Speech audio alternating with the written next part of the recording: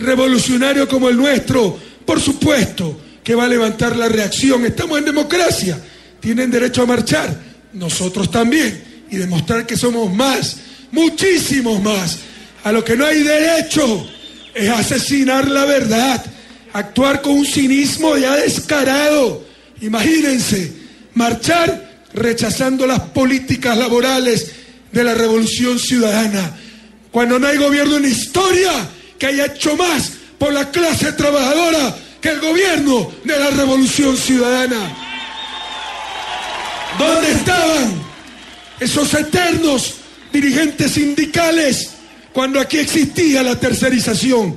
¿Dónde estaban? ¿Los vieron ustedes?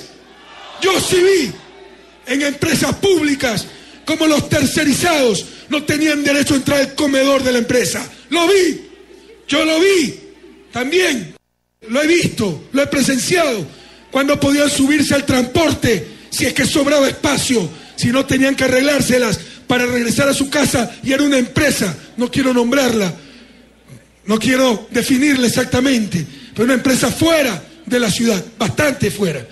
¿Dónde estaban cuando se excluía de esa manera a los tercerizados dentro de la misma clase trabajadora? Cuando se permitía esa explotación legalizada, pero jamás legitimada, que se llamaba tercerización laboral. ¿Dónde estaban cuando se robaba lo más preciado de un ser humano? Una jubilación digna, tranquila, después de toda una vida de trabajo. Y a nuestros trabajadores no se los afiliaba el 10. En el gobierno de Revolución Ciudadana, más de un millón de trabajadores nuevos afiliados al 10, compañeros. ¿Dónde estaba esa dirigencia? ¿Dónde estaba cuando teníamos esos sueldos de miseria? 150 dólares era el salario básico cuando yo llegué al gobierno. Ahora es más del doble, 340 y nadie puede repartir utilidades hasta que el último, los trabajadores, haya logrado el salario de la dignidad. Y hoy tenemos los salarios reales más altos de la región andina. Pero ¿dónde estaban? ¿Dónde estaban cuando esas empleadas domésticas cuando esas trabajadoras remuneradas del hogar, ¿saben cuál era el sueldo básico cuando llegamos al gobierno? 80 dólares. ¿Y saben lo que decía el Código de Trabajo? Ustedes escucharon alguna vez que presentaron una reforma. Nosotros lo hicimos. Y gracias a nuestros compañeros asambleístas. Y gracias a ustedes por ese apoyo para poder hacer leyes por los más desfavorecidos sobre todo. Cuando enviaron una reforma al Código Laboral que decía que esas empleadas domésticas que ganaban 80 dólares de salario básico, como que si comieran menos que el resto, como que si no tuvieran familia, derecho a vivir. Jamás lo entendí, porque unos tenían salario básico ya de miseria, de 150 dólares, pero ya el otro era surrealista, kafkiano, un salario de 80 dólares y un código laboral que decían que tenían derecho a una tarde libre cada 15 días. Eso decía el código laboral que recibimos, compañeros. ¿Dónde estaban esas élites sindicales que hoy protestan contra la política laboral de la revolución ciudadana? Basta de cinismo. ¿Dónde estaban cuando nuestros servidores públicos, después de 35, 40 años de trabajo, salían con una mano adelante y otra atrás, no tenían una indemnización, a lo sumo su fondo de cesantía, básicamente su propio ahorro, en el 10 ahora reciben cinco salarios básicos por cada año trabajado. Y mientras tanto, ciertos sindicatos abusando de su poder, básicamente en el sector público, en vez de disputarle renta al capital privado, ordeñaban a la vaca pública, es decir, a todos los ecuatorianos, porque no había quien la defendiera. Eso es lo que les duele. Ya tenemos presidente, ya tenemos quien defienda a lo público, compañeros. Saben que no nos pueden someter.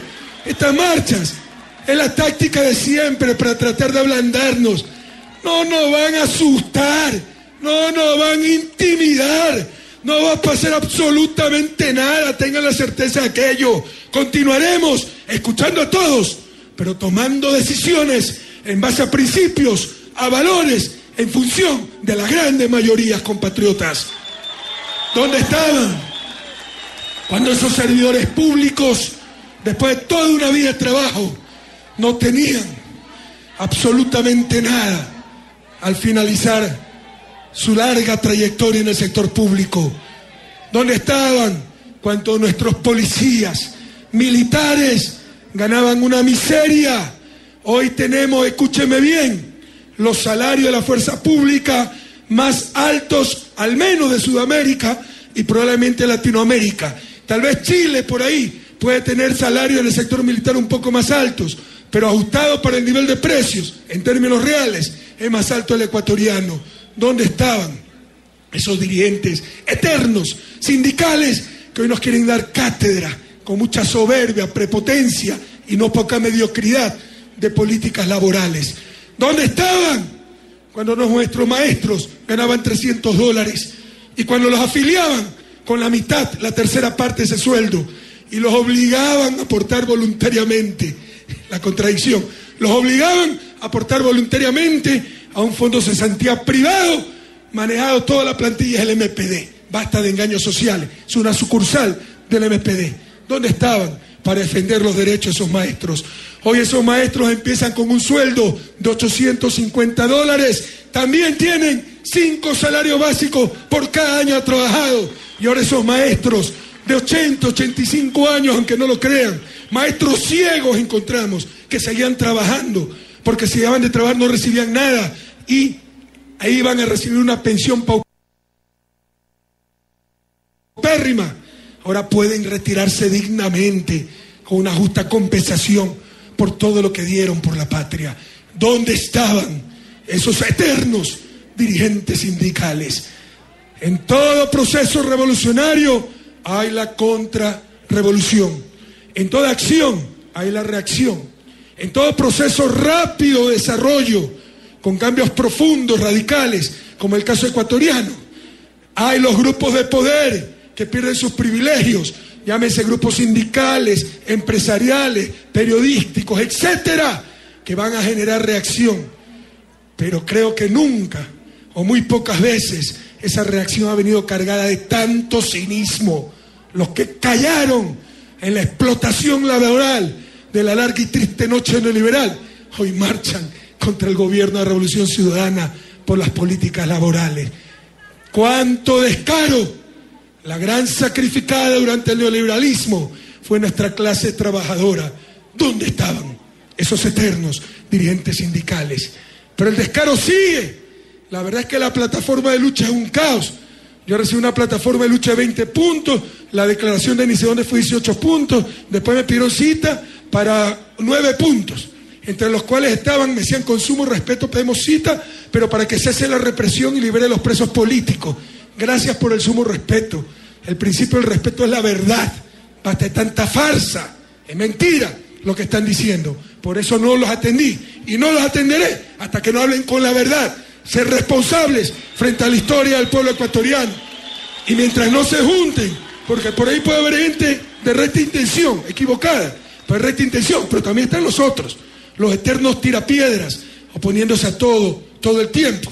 Y en esa plataforma de lucha, que es increíble, va desde rechazar el código laboral que ni conocen, porque es un proyecto, rechazan cosas, agárrense, uno de los más grandes avances del sindicalismo moderno, del sindicalismo por sectores, para tener más poder frente al patrono.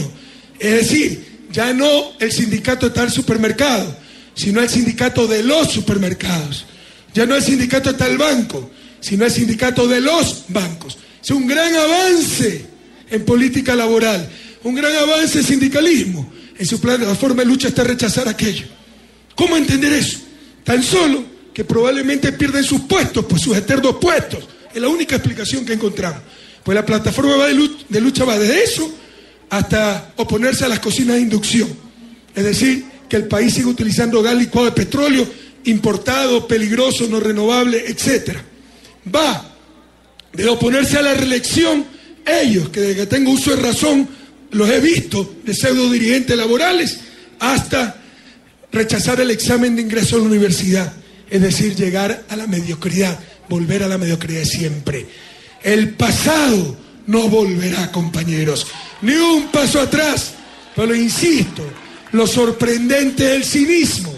Quienes hablan de rescatar la educación y por eso supuestamente marchan, la Unión Nacional de Educadores del MPD, los que destrozaron nuestra educación, donde estaban cuando no se construyó un solo colegio, por ejemplo en la ciudad de Guayaquil, en los últimos 30 años, donde estaban cuando la constitución decía que la educación pública era gratuita y se cobraba 25 dólares por niño, o ya lo olvidaron.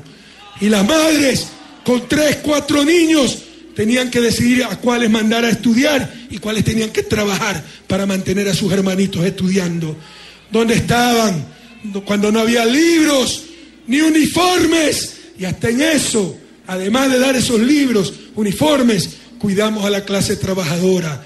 Esos millones de uniformes no los confeccionan las grandes industrias textiles, los confeccionan centenas de maestros artesanos los artesanos de la patria, grandes trabajadores también. ¿Dónde estaban cuando nuestros maestros recibían sueldo de miseria?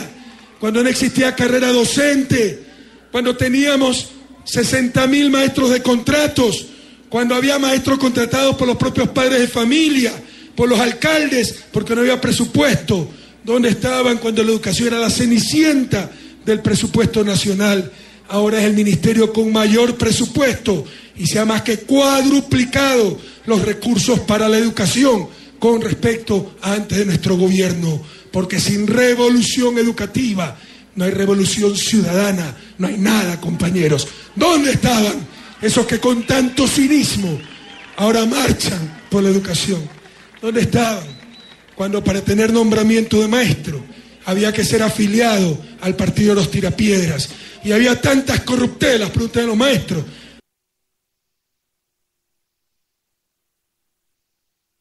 hasta que había que dar, hasta que hubo casos de favores sexuales para poder tener nombramiento. O sea, la corrupción que encontramos en educación.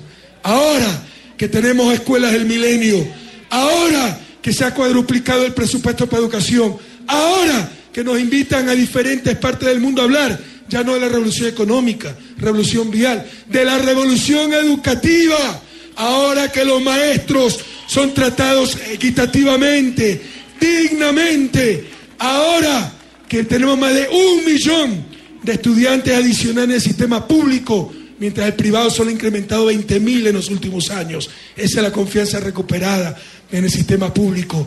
Ahora que la educación pública es realmente gratuita, y no solo gratuita, con libros, con uniformes, colación, almuerzo.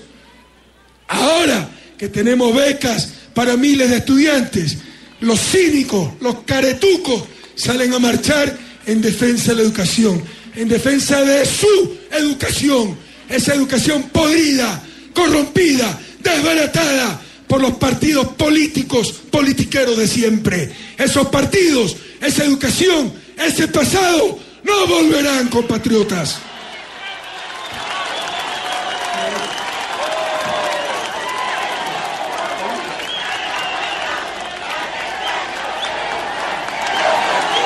Ahora marcha la Federación Médica, totalmente politizada, como lo dijimos en su momento. Y los médicos, confundidos, muchos de ellos, no nos creían. Creían que tenían representantes gremiales cuando eran vulgares politiqueros que querían hacer daño a la revolución. ¿Cómo nos ha dado razón el tiempo? Ya en ese momento lo demostramos cuando cambiaron hasta las letras del Código Penal para hacerle creer a nuestros médicos que iban a ser perseguidos por el gobierno, por todos los ciudadanos. ¡Qué barbaridad! Pero luego de eso, de mentir, de manipular, se juntaron a la marcha del agua. Ahora están en esta marcha por cualquier cosa, porque no están representando al gremio, están siendo sucursal de ciertos partidos tirapiedras. Han convertido la Federación de Médicos en otro simple espacio de politiquería, pero cuánto cinismo también. Porque no hay gobierno que haya hecho más en toda la historia por la salud que el gobierno de la revolución ciudadana. La revolución de la salud es evidente. Y los que nunca dieron nada, cuando se secuestró la salud, cuando tenían que ir a nuestros hospitales con hilo para que los cosieran, porque ni eso había en emergencia. Cuando no había ni focos para los quirófanos, porque eso fue lo que encontré. Cuando no había un solo tomógrafo en nuestros hospitales públicos hoy tenemos decenas centenas de ecógrafos, sonógrafos, etcétera. ¿Dónde estaban esta gente? Ahí no marcharon porque tal vez tenían sus espacios de poder, sus argollas, como en este gobierno no tienen esa influencia porque nosotros no respondemos a grupos de poder, sino al pueblo ecuatoriano, marchan con los mismos de siempre. Esa politiquería que permitió el secuestro de la salud, la desaparición de la salud pública, no volverá, compañeros. Y se junta de todo. También habían ahí trabajadores de las telefónicas. Comprendo su actitud. Es duro lo que hemos propuesto. Pero no tenemos de qué arrepentirnos, compañeros.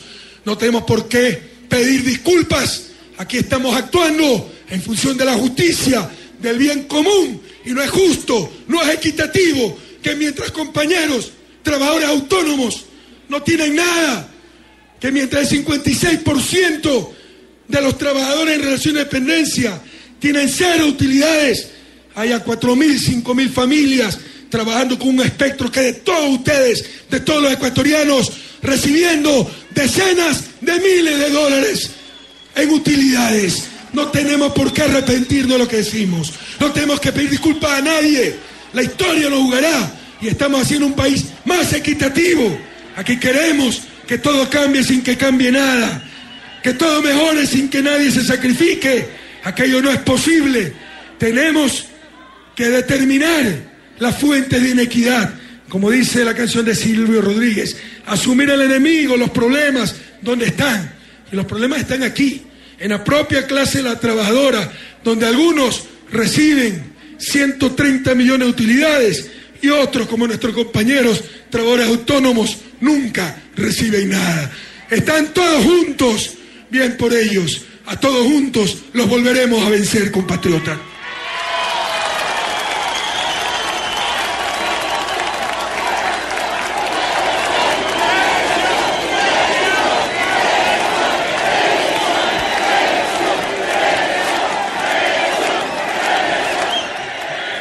Lo importante no es la reelección, lo importante es que este proceso continúe y no confiarnos.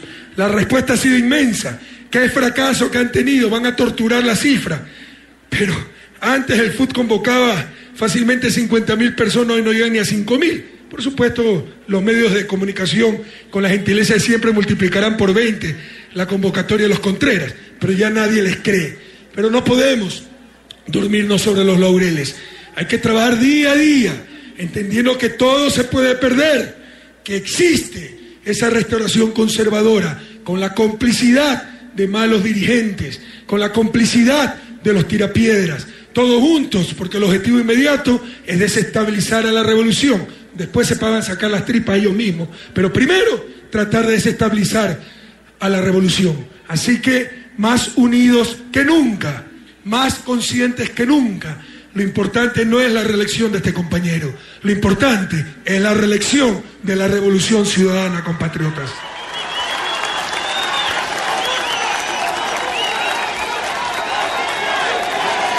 Falta mucho por hacer. Y prepárense, porque radicalizaremos la revolución. Cada día a revolucionar la revolución, compañeros. En democracia, con inteligencia, pero radicalmente. O cambiamos definitivamente la patria o no la cambiamos nunca. Yo creo que Ecuador nunca va a volver a ser el del pasado, pero sí podemos retroceder muchísimo. Así que estar muy atentos y a seguir consolidando los grandes logros de la revolución. Y como decía el compañero Marcelo, construyendo nuevos derechos, construyendo nuevas cosas. Hay muchos desafíos en el horizonte, lo he dicho. No nos vamos a dedicar en el plazo inmediato a tres áreas especialmente. La primera, la que nos convoca principalmente el día de hoy, de las que le habló Carlos Marx, el código de trabajo, el trabajo humano, característica de nuestra revolución, del socialismo, el ser humano sobre el capital, compañeros. Tenemos que seguir profundizando aquello, como lo decía Gustavo, pero un código amplio que revolucione categorías. No existe tal cosa, por ejemplo, como mercado laboral. ¿Acaso el ser humano es una mercancía más y su precio el salario? Eso es inaceptable. No hay tal cosa como capital humano. ¿Acaso el ser humano es un factor más de producción? Nuestra constitución dice, porque es una constitución socialista hecha por la Revolución Ciudadana, que el ser humano es el fin mismo de la producción. Tenemos que romper con categorías que por comunes consideramos normales y son verdaderos insultos a la dignidad de las personas y su trabajo. Por ejemplo, las categorías capitalistas mercantilistas para clasificar a la fuerza laboral, a la población económicamente activa e inactiva. Población económicamente activa, los que quieren y, y pueden trabajar. Población económicamente, inactiva, los que no quieren trabajar básicamente. Pero ¿saben a quién meten a población económicamente inactiva? Por ejemplo, a las amas de casa. ¿Qué mayores y mejores trabajadoras que ellas? Entonces no es si quieren o pueden trabajar, es si están trabajando para el mercado, si se dan cuenta. Las categorías capitalistas, mercantilistas, porque atentos, hay capitalismo no mercantil, ¿no? El mercantilismo, precisamente, y hay capitalismo de mercado. Pero el, hay capitalismo de mercado y capitalismo de no mercado, ¿no? Eso, a eso me refería. Estas son categorías mercantilistas que tenemos que desbaratar, reconstruir nuevos conceptos, nuevas líneas de pensamiento, no solo para el Ecuador, para el mundo entero. Es una tarea también importante, porque muchas veces nos podemos discutir, pero en los espacios, en la cancha que ellos nos han marcado. Entonces, primer área de trabajo, en los próximos días, semanas, ojalá que no meses, el nuevo código de trabajo. Concepto mucho más amplio, ya no el Ministerio de Relaciones Laborales, ese fue un error. Básicamente tratar el trabajo en condición de dependencia, el empleo, sino el trabajo humano en todas sus expresiones, dependiente, autónomo, mercantil, no mercantil. ¿Estamos claros?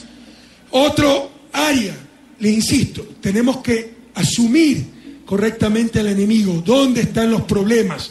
Algunas veces somos un país que sabemos que algo nos duele, pero no sabemos que nos duele. Y cuando sabemos que nos duele, no tomamos los correctivos del caso.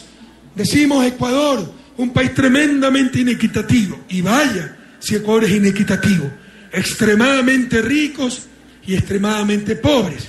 Y atención, porque algunos dirán, yo no tengo mucha plata, pero tienen mucho poder. ¿Para qué se busca el dinero? Para el poder.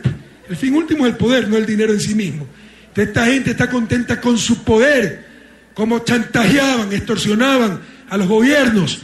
Por eso su frustración, porque con este gobierno no lo logran. Pero en todo caso, compañeros, gente con mucho poder, gente sin ningún poder, gente que nos habla de su libertad de expresión porque tiene sus periódicos, gente que nunca es tomado en cuenta. Ecuador es un país de las desigualdades, uno de los países más inequitativos del mundo, pero debemos saber dónde están las fuentes de esa desigualdad. Había muchas. ¿Dónde estaban estos pseudo dirigentes cuando la remuneración al capital no tenía límites? ¿Cuál es la remuneración al capital? La remuneración al capital financiero, las tasas de interés. Cuando yo llegué al gobierno, habían tasas de interés en dólares de 24, 25%, y eso no extrañaba a nadie. Así tenía que ser, nos habían hecho creer. Y después de quebrarnos en el 99, ya los banqueros estaban rompiendo récords históricos en utilidades. Pero si no escandalizaba, ¿no? 24, 25% de tasas de interés en dólares, pero si escandalizaba era demagogia y responsabilidad aumentar 10 dólares el salario básico. Esa es una de las fuentes de inequidad en América Latina. La remuneración del capital, utilidades empresariales, tasas de interés y la remuneración al trabajo, básicamente salarios. Y eso viene también de otro factor, la acumulación de los medios de producción. ¿Y cuánto hemos avanzado en esto? Falta mucho, pero hay cosas emblemáticas. Hoy los hoteles que se les incautaron a los banqueros prófugos, los manejan los trabajadores. Las haciendas incautadas a los evasores de impuestos, las tienen los trabajadores. Las concesiones chuecas, mal hechas, en nuestro perfil costanero, a pequeños grupos de empresarios, en cuanto a camaroneras, ahora los tienen los comuneros de Puná, los compañeros del oro. Estamos avanzando en eso, pero tenemos que avanzar mucho más, compañeros. Pero ahí también está otra de las fuentes de inequidad.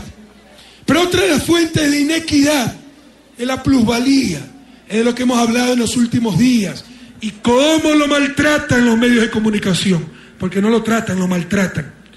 Y cómo lo maltratan los alcaldes de la restauración conservadora que se reunieron en Guaranda. Dicho sea de paso, muchos de ellos han vivido con la especulación de la tierra. Si no vaya a ver el negocio del que sabemos antes y durante la alcaldía. ¿no? Han vivido eso. ¿Cómo les va a interesar, pues, que eso continúe, que, que cambiemos esa situación? Pero en todo caso, compañeros, la plusvalía también una de las fuentes de inequidad, de riqueza ilegítima. Todo esto lo redujeron a que queremos poner más impuestos porque el país está quebrado. El que quiera creer lo que lo, quiere, que, lo crea. ¿Cuál es la verdad? Que nuestro esfuerzo, edificio UNASUR, enriquece a, mucho, a muy pocos. Los terrenos aledaños se sextuplicaron en su valor y tuvimos que expropiarlos para hacer espacios verdes y un terreno que valía 500 mil dólares lo tuvimos que pagar en 3 millones de dólares. En el 2012 estaba evaluado en 500 mil dólares, 2014 tuvimos que pagar 3 millones de dólares a valor municipal, pero gracias a nuestra propia obra, gracias a su dinero, no la intervención del dueño del terreno, ¿sí me explico? Él no trabajó en ese terreno, se quedó cruzado de brazos y vio cómo subía el valor por el trabajo que hacían otros, por el trabajo que hacía el sector público. Eso es ganancia ilegítima y es una de las fuentes graves de desigualdad. ¿O cuál de ustedes tiene grandes terrenos en el sector urbano? ¿O cuál de ustedes tiene grandes terrenos en el sector rural? Porque nuestros campesinos sí tienen terrenos, pero para nuestros campesinos la tierra no es mercancía, es parte de su vida, parte de la cultura. No van a especular con ella.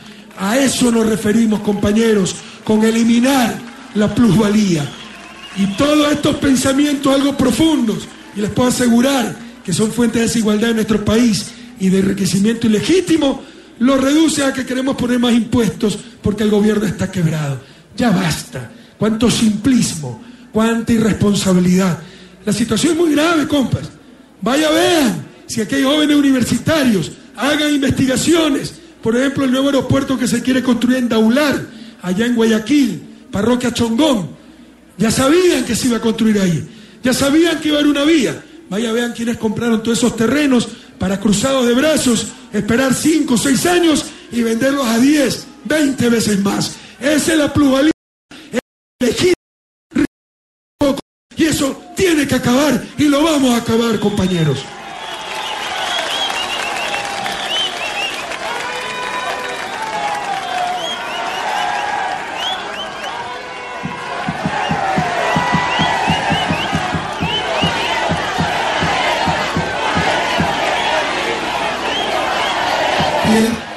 Tercer eje al que se va a dedicar el gobierno con el apoyo de nuestros compañeros del bloque, siempre necesitamos su apoyo, es la seguridad social.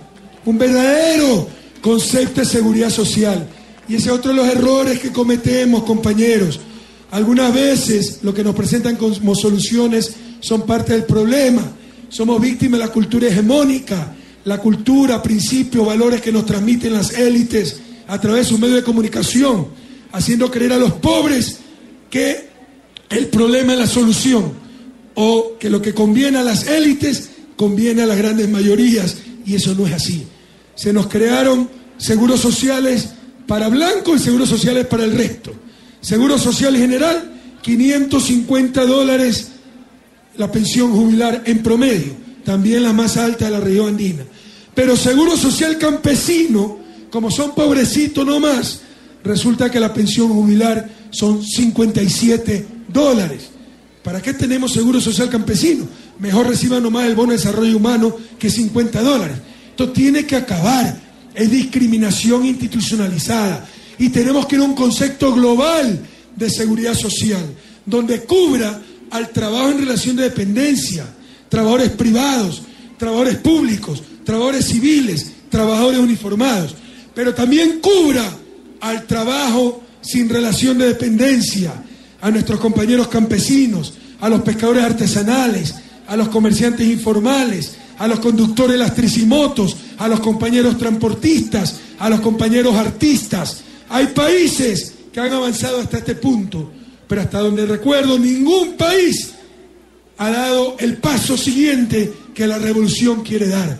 Cubrir con seguridad social no solo el trabajo dependiente, no solo el trabajo independiente, pero con fines mercantiles, sino el trabajo sin fines mercantiles, es decir, básicamente el trabajo de nuestras amas de casa, compañeros. La seguridad social debe ser brindada a las personas que dieron un trabajo, mercantil o no, durante toda su vida productiva. Y ese es nuestro objetivo. Y aquellos que por diferentes motivos no lo pudieron dar, van a tener la ayuda directa, ese trabajo del Estado, por medio de lo que se llama la seguridad no contributiva y básicamente el bono de desarrollo humano. Como ustedes verán, son grandes los sueños, porque son aún más grandes los desafíos, compañeros. Así que a no dejarnos demorar.